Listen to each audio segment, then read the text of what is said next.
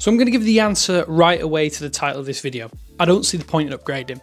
I'm using an M1 Pro model with 16GB of RAM and a 512GB SSD. It's practically perfect.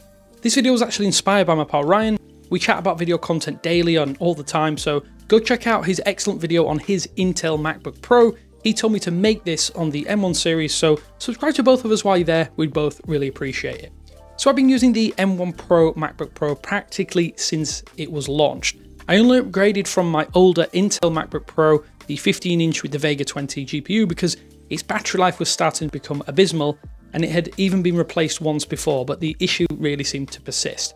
Plus, I actually wanted to sell my old Mac before it depreciated any further. As soon as Apple went with the M series, Intel Macs basically dropped like a stone and I thought I needed to get out of here quickly. So getting rid of the touch bar was also a major priority for me. I absolutely hated how inefficient it was, most of the time, it was just unused and underutilized, at least in my case. Around the same time as well, my PC, which I use primarily for video editing, decided to just give up the ghost and I needed a reliable, if I can say that, replacement for work projects. And honestly, I just didn't want to shell out another £3,000 for a brand new laptop, which is what my Vega 20 MacBook Pro originally cost me with Apple Care on top, so it was even more expensive. So with that in mind, I opted for the first wave of refurbished M1 Pro MacBook Pros for around about, I think it was £1,100.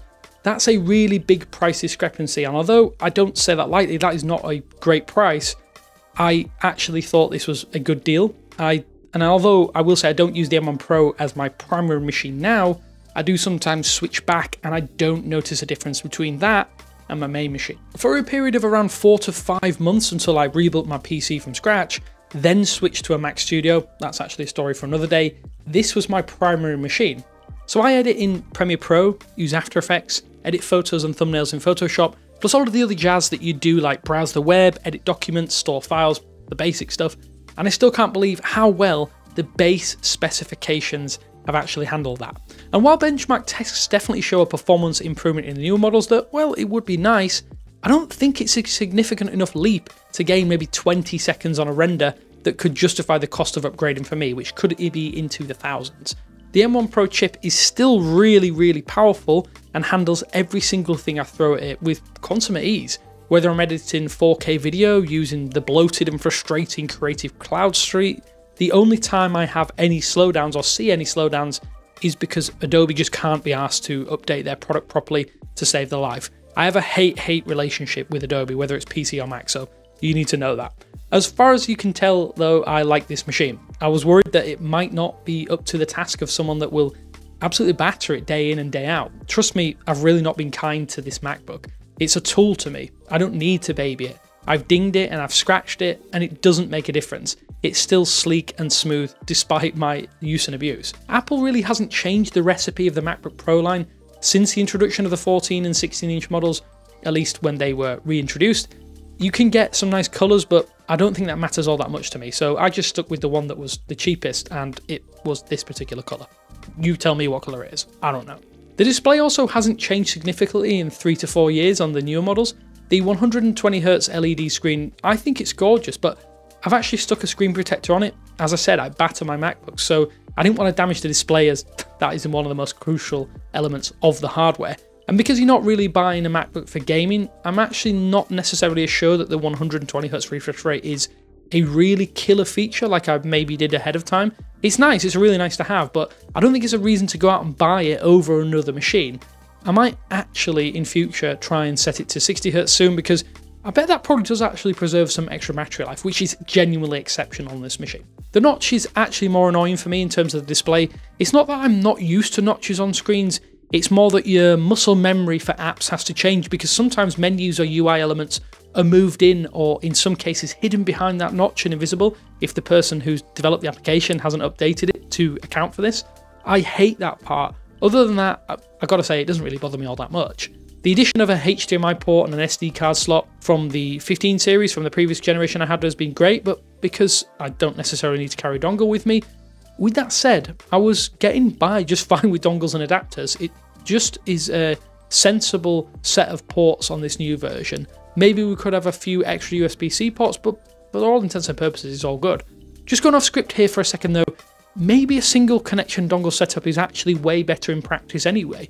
You just have to connect up one cable rather than have multiple to achieve the same thing and you're not actually caught in a spider web of cables. I don't know, just a thought. Maybe that single cable setup is actually a bit better. Enough waffle though, here is the cold hard truth on why I've stuck with an older machine, although it isn't really that old in the grand scheme of things, and probably will continue to do so for a long time in the future. For me, the money I would have spent on a brand new, top of the line, top tier MacBook or new laptop has been far more valuable invested in other areas of my setup and my day to day life. I've been able to upgrade my gaming PC with a brand new GPU, uh, purchase a sturdy new tripod for video recording, which I'm talking to you on right now, and treat myself to a better keyboard that I'm going to use every single day. These improvements have had a tangible impact on my productivity and overall enjoyment of my work and free time. Furthermore, I'm not constantly chasing the latest upgrades and I'm able to appreciate the technology I already have and use it to its maximum. My M1 Pro MacBook Pro is a fantastic machine that meets and exceeds my needs day to day. I'd rather focus on creating and enjoying the process rather than worrying about whether I have the absolute newest hardware, which I think a lot of people do spend their time fussing over. My gaming PC is a prime example. You might have experienced this yourself if you're a PC gamer. Instead of playing and enjoying the games that you have and you can play, because it starts to become a chore to eke out a few more frames by spending potentially hours tweaking, tuning, enhancing, and optimizing for your specific setup. I know the limitations on this machine, and working within them, it doesn't really inhibit me. That's actually quite liberating when you think about it.